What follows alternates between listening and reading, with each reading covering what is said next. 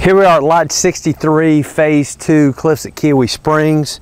Uh, this lot is a large lot, 1.52 acres. In fact, where Matt's showing you right now, you can see the upper pin and tape on that property. And if you look down the road, you've got another white stake down there. So that's where the lot starts and ends, whichever way you're going. But it's this entire corner um, so you could do circular drive. It's got, you know, a little bit of slope to it. You could have a basement style home, just a number of options here.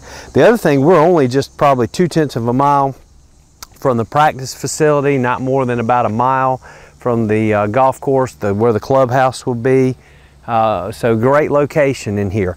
The other thing I want to point out is Cliffs is going through their restructuring process. Uh, a golf membership can be bought at $35,000. So if you think about it, at this lot price, uh, and the golf membership, you're talking about, you know, around $70,000. You could buy the property and also have a golf membership in the cliff. So you need to be looking at that if you want to get involved in this community because it looks like, based on everything we're hearing with the group coming in, there's going to be a lot of money. Uh, things are going to get back on track. And, um, you know, this is a great opportunity. So if you'd like to get out here and see it, 1-800-682-9098. All right, we're standing on a putting green actually at the golf practice facility and you can actually see the lot. So we're not more than a couple hundred yards away uh, from that property to where we're standing right now. And as we swing around, I mean, this is a world-class golf practice facility.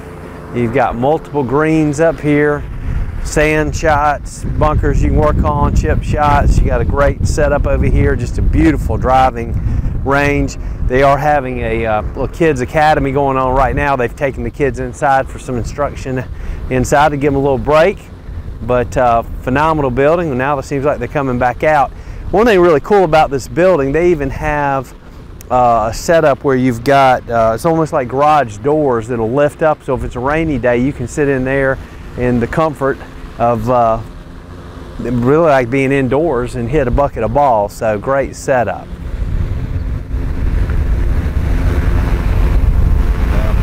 Yep, you go down the driving range and actually on the far end is the other driving range up at the clubhouse hitting back this way. So you don't find many places that have a facility like this. How could you not want to be a part?